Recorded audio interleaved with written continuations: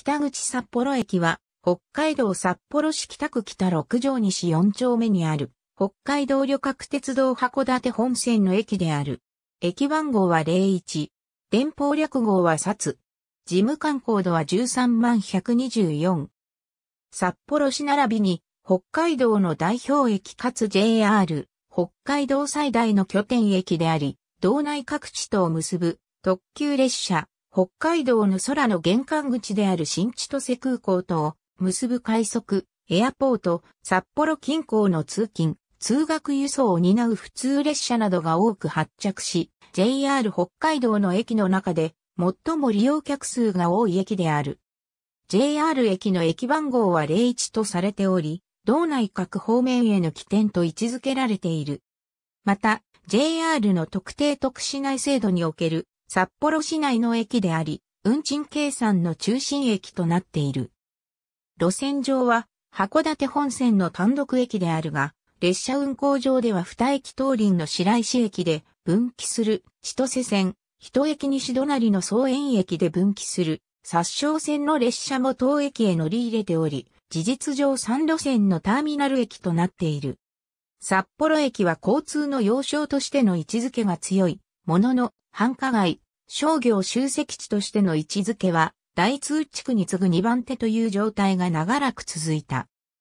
しかし2000年代初頭からは、札幌都市圏への人口一極集中に加え、駅ビル、JR タワーの開業、駅周辺地域の再開発に伴い、札幌近郊のみならず、道内主要都市からの利用客が増加しているほか、鉄道利用客にとどまらず商業などの集積においても、大数地区、すすきの地区をしのぐ新たな拠点へと成長した。近年では若年層を中心に、札駅という通称で呼ばれることも多くなっている。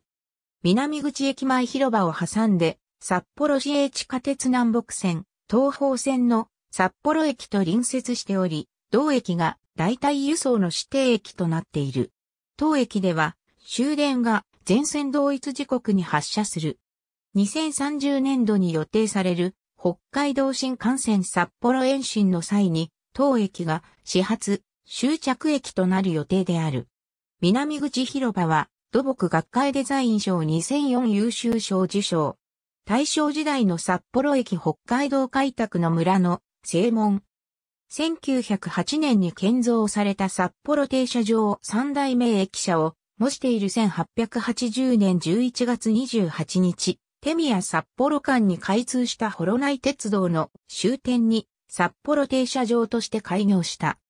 当初の建物は仮のもので、1881年12月に木造平屋建て211.3坪の新しい駅舎が完成し、翌1882年1月から使用された。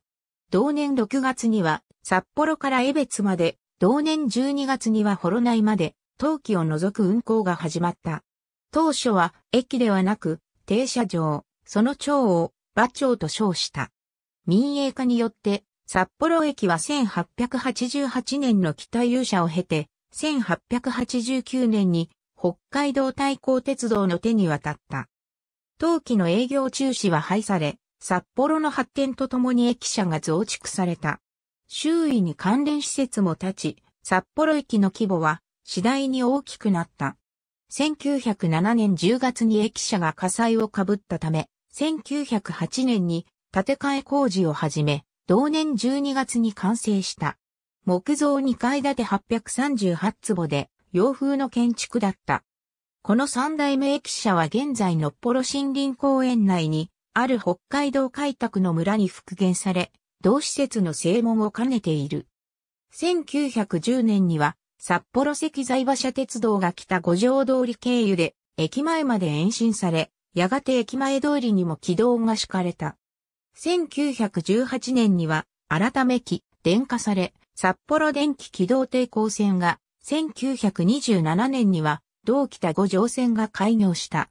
四代目の駅舎は、駅以外の店舗と複合する民衆駅として計画され、三代目駅舎の南側に1951年から工事を始め、翌年に利用に供された。この駅舎は地下1階、地上4階の鉄筋コンクリート建築で、地下に店舗、1階と2階の一部が駅、2階から4階が業務用に使われた。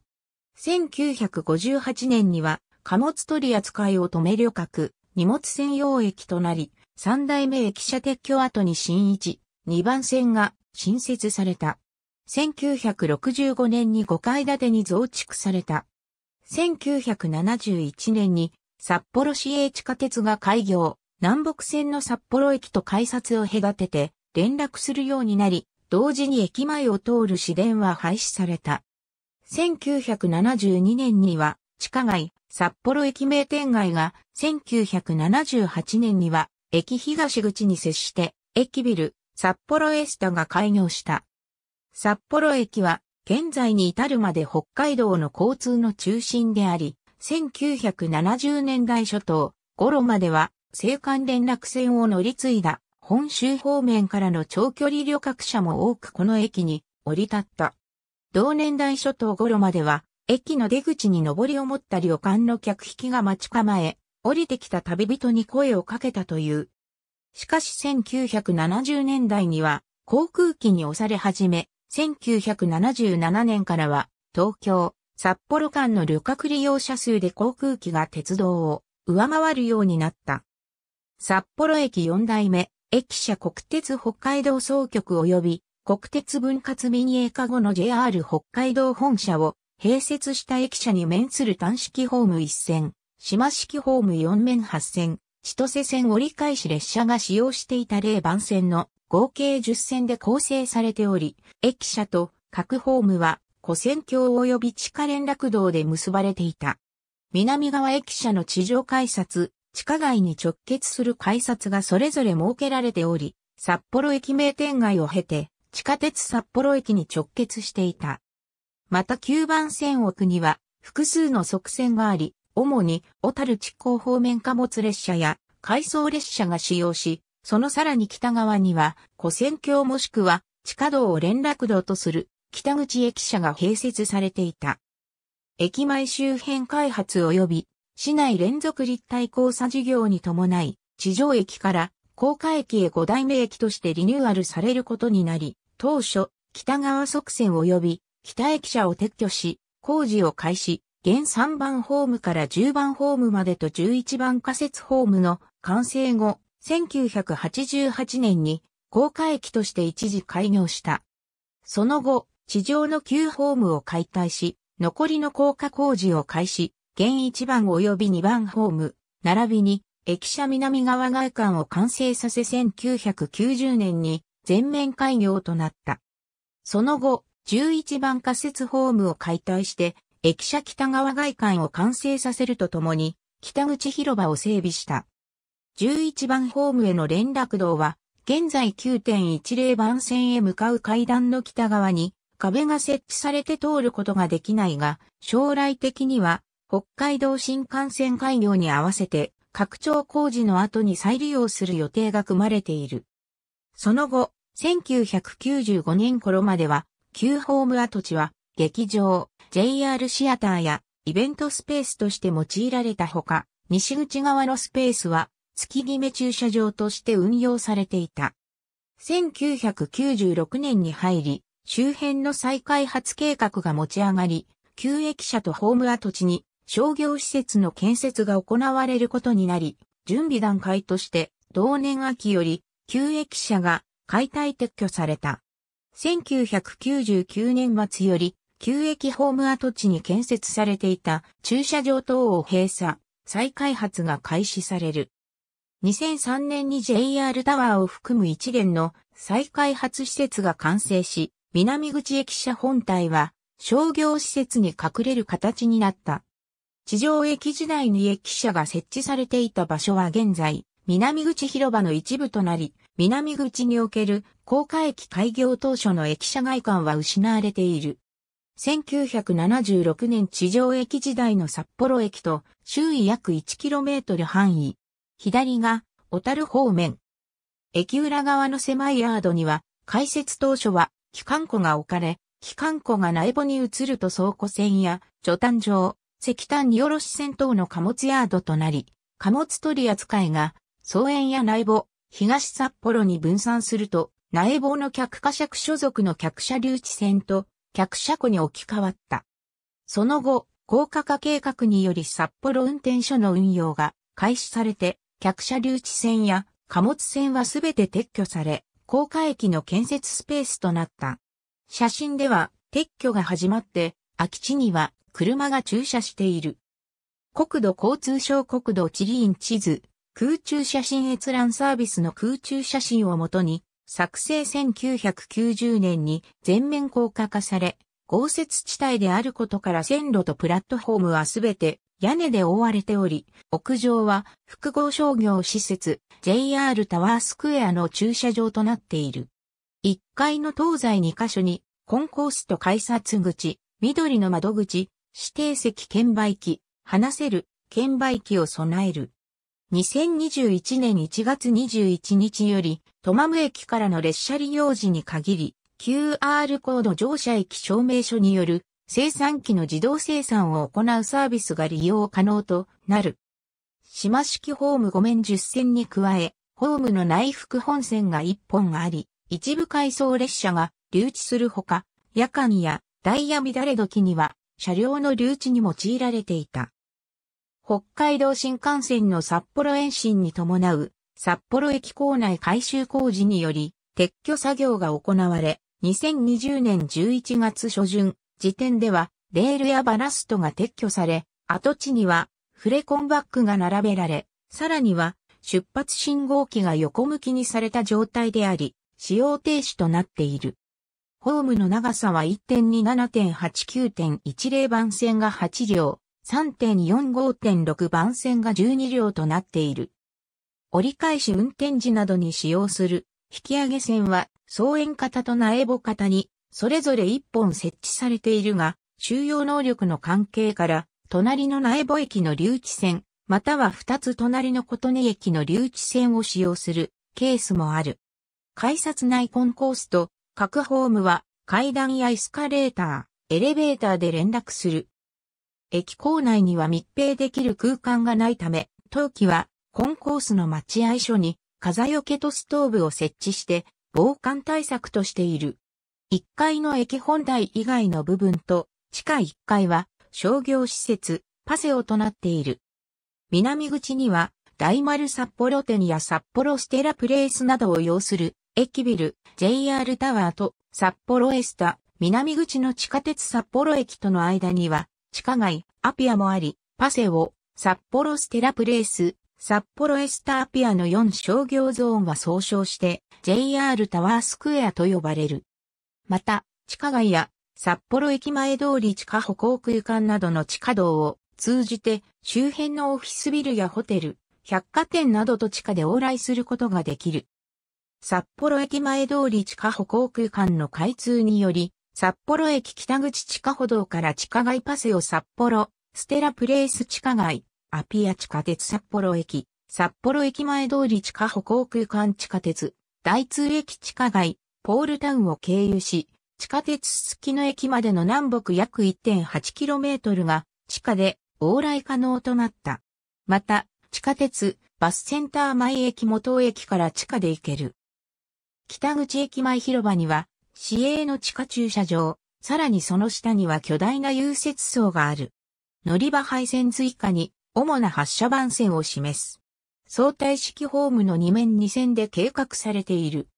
北海道新幹線ホームの位置問題については、後述の北海道新幹線ホームの位置に関する問題を参照。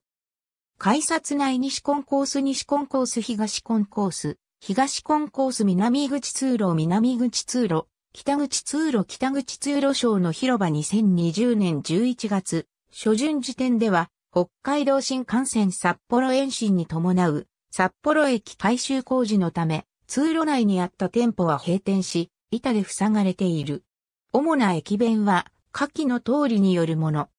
JR 北海道によると、2019年度の1日平均乗車人員は98,122人である。同社の駅かつ北海道口で最も利用客の多い駅であり、ここ数年は増加傾向にある。2019年現在、2番目に利用客が多い、新千歳空港駅の約5.5倍であり、当駅に1局集中していることが伺える。近年の1日平均乗車人員の推移は、下表の通りである。当駅南は、オフィス街と繁華街の混在地区であり、札幌市の中心市街地の北端にあたる。当駅北は、北海道大学や富士女子大学、天守大学などの学生街となっている。南口周辺の俯瞰大丸札幌店札幌エスタ、札幌駅前通り地下歩行空間夜の南口周辺北海道庁旧本庁舎札幌市、時計台南口からメインストリートの札幌駅前通りを約700メートル南下した大通公園周辺までオフィスビルや商業施設、ホテルなどが数多く立ち並んでいる。北海道新幹線の東駅延伸に伴う北五条西1丁目と道西2丁目で実施される南口再開発事業に向けて2020年8月5日に札幌市と JR 北海道で構成される準備組合は道西1丁目に約255メートル、道西2丁目に約85メートル、道西1丁目に約200メートル、道西2丁目に約150メートルの2案の新駅ビルの建設を検討、構想していることを発表した。このうち1階にはバスターミナルが入り、北五条西1丁目には都市間、バス、道西2丁目には路線バスが乗り入れる予定である。新駅ビルは2021年度以降に実施される事業計画の盛り込みを得て2029年の完成が予定されている。2021年3月12日には、北五条西1丁目に約255メートル、道西2丁目に約85メートルの案を軸とすることを決定した。同年5月までに新駅ビルの施設利用方針などを盛り込んだ基本計画を策定し、詳細を決定する見込みである。なお、予定通り完成した場合は、JR タワーを超えて、北海道内では最も高い高層ビルとなる。2020年10月30日には、札幌西部跡に高さ約220メートルの高層棟と約60メートルの低層棟からなる複合ビルを整備する事業計画案の概要をヨドバシカメラなどで作る再開発準備組合が示した。同年11月2日から縦覧が始まる札幌市の環境アセスメント手続きの環境影響評価方法書で示した後、2021年度の都市計画決定を経て着工を行い、2020年代中頃の完成が予定されている。駅ビル、商業施設宿泊施設、オフィスビル観光庁、公的施設金融機関、等その他主要幹線道路駅、商業施設宿泊施設、オフィスビル金融機関、等その他主要幹線道路北口駅前広場、札幌駅北口地下歩道札幌第一合同庁舎、D、グラフォート、札幌ステーションタワー、北海道大学古賀記念行動2020年9月18日の2022年度にかけて北口広場の改修工事が実施されている。2020年11月初旬時点では駅外間に足場が組まれたほか、駅前広場の工事区画も鉄板で囲まれている。2020年7月より北八条西1丁目では再開発組合によって48階建てのマンションなどを建設する再開発事業に着手している。48階建てマンションと商業施設からなる A 棟、14階建てホテルを中心とした B 棟、4階建てのオフィス棟、立体駐車場の建設が予定されている。これと同時に、北八条西一丁目と札幌駅までを地下通路で結ばれる予定である。このうち商業施設内には札幌駅周辺では初となる常設劇場シアター8.1札幌が設置予定である。再開発事業は2023年12月に完成し、常設劇場は2024年春の開業が見込まれている。